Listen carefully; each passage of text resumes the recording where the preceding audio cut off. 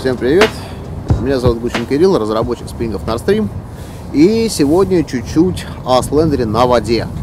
То есть э, до этого был обзор ариатора, сейчас слендер. В общем-то, условия практически не поменялись. Выдаем во льду половина, рыба практически не клюет. И самое страшное, что я не сильно представляю, что вам показывать на воде. А, потому что передать ощущение от легкости заброса камера не может. Мерить э, сантиметром, куда улетела там двухграммовая блесна, ну, как-то тоже, мне кажется, не очень. Поэтому просто буду ловить несколькими моделями, а, буду говорить нюансы, вот которые для чего и как и что сделано. Вот. Ну и, соответственно, наверное, это все, что я могу сделать, именно э, показывая и рассказывая про эту серию на воде. Значит, коротко. А я не знаю, смотрели вы или не смотрели предыдущий ролик, где Слендер, про Слендер я рассказывал в офисе. Поэтому сейчас коротко. Пункт раз. А, это начальная серия для начинающих, которые учатся ловить ультралайтом. В первую очередь это форель, а во вторую очередь это все остальное. Серия включает в себя 6 моделей трех классов. Экстра ультралайт, XUL, ультралайт, ультралайт light скажем так. Значит, тесты следующие. Экстра ультралайт это 0,3,3, либо 0,44. Ультралайт до 5 и до 6 грамм, то есть 0,85, 0,86. И, соответственно, light, ультралайт light это до 7 грамм модели. Значит, в чем нюансы? Экстра ультралайты в первую очередь это э, резина, то есть э, все вот это вот разнообразие э, разных вариантов резины, которые идут в основном летом, то есть с минимальными головками э, и небольшие по размерам. 0,55 это вообще самые-самые универсалы. Ну и, соответственно, 0,87 это под условие, когда А. крупная рыба, Б. Э, объемные или тяжелые приманки, которые нам надо просто тупо доставить там подальше, закинуть. Вот, собственно говоря, если коротко, просто по общим сериям это все. А дальше давайте посмотрим, что на воде, как чего работает, как что кидает. Ну, в общем, попробую сделать что-нибудь.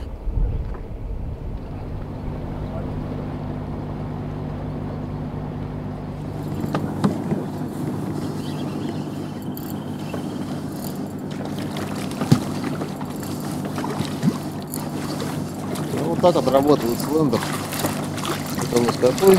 Уже запутался. 672 UL до 6 грамм. То есть, несмотря на то, что палка в принципе для новичков, вот, все вполне великолепно. Ушла. Кстати, на резину.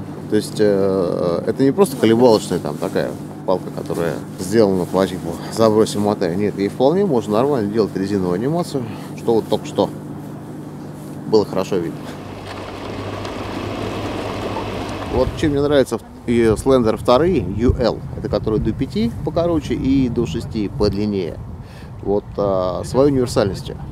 На более длинные я вон только что на резину поймал рыбу, сейчас более коротким работаю колебалкой и в принципе могу спокойно поменять приманки. То есть на более короткий поставить резинку, на более длинной колебалкой, и все будет то же самое. Я четко позиционирую вот этот тест как наиболее универсальный для форелятников. Если вам нужна одна палка, вот начинающим. А вот еще одна рыба. Ах, сошла. Вот. Поэтому именно я позиционирую вот этот класс до 5 там, или 6 грамм, более длинный, именно как э, наиболее универсальную, именно как наиболее подходящую практически подо все основные э.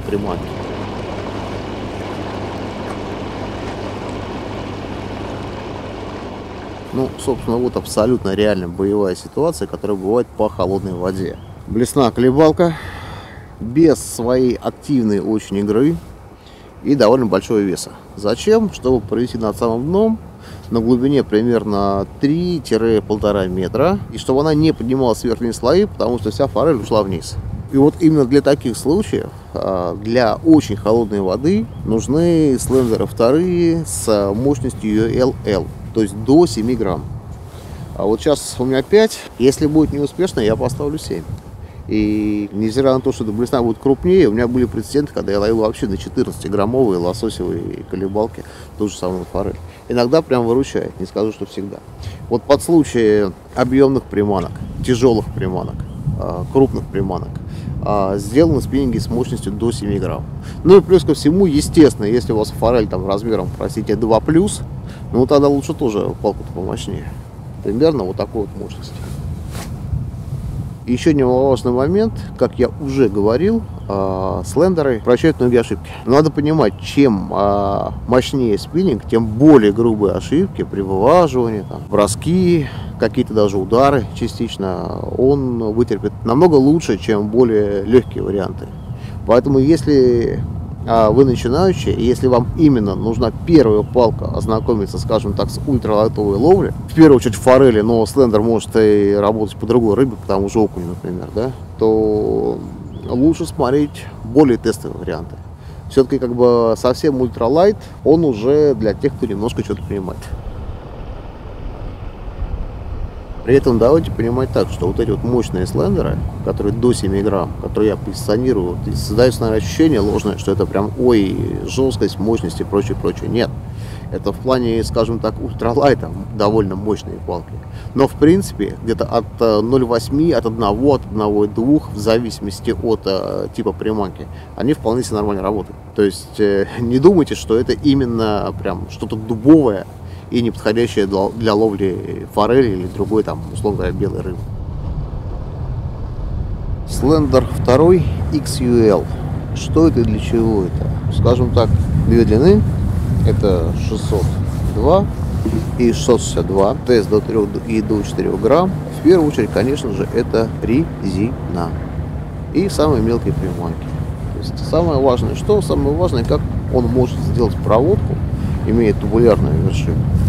Именно резина. Давайте смотреть. Заброс. Сейчас он тонет. И я прям покажу, как работает сама вершинка. Вот на этом вот растрясе, который позволяет нам делать правильные, легенькие, тоненькие э, рывочки, анимируя какую, какую-нибудь резинку без своей особо сильной игры. Ну, обе модели достаточно изящные. Э, вот. Но в отличие от э, ариатора, они просят более грубые ошибки начинающие.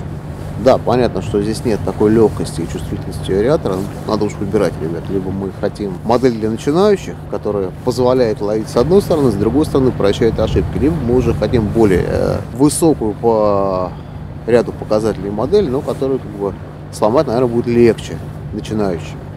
Я, по крайней мере, на тестированиях не сломал ни одну, и на каждую из них рыбу я поймал ни одну, ни две.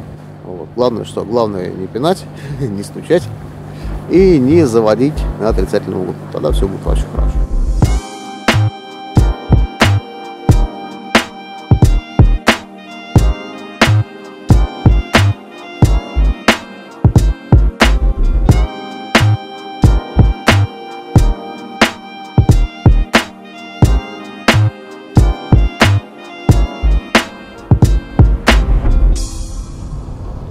Ну, собственно говоря, вот а, про слендер, наверное, все. Все, что мог, сказал. Специально старались не делать очень затянутое видео. Вот, ну, как-то, да и много говорить тут нечего. Это не джиг, когда мы показываем рабочую вершинку, и не твич, когда мы показываем, как бланк отрабатывает. Тут, в общем, это бесполезно показывать. Вот. Но общее впечатление, думаю, вы составили. То есть э, уже понятно, что это, зачем это и для чего. Все, всего доброго. До новых встреч.